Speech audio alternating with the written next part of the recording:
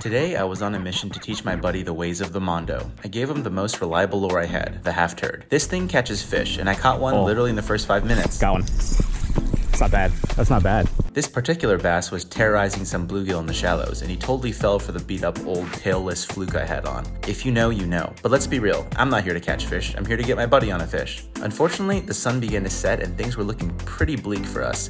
He got a few bites but wasn't able to hook up. I even helped him get unsnagged at one point, and upon bringing it in, I caught another fish. Talk about unlucky. Oh, what? I got skunked. I got robbed. Finally, right as the sun was setting, he got one. Guys, this is the face of someone who caught their first bass. He even had a pretty decent release. The dude's a natural, and props to him for not giving up after a hard night. One more thing. After it got dark, I tied on the tiny torpedo and caught this nice post spawn lunker. Thanks for watching, and until next time, pay it forward.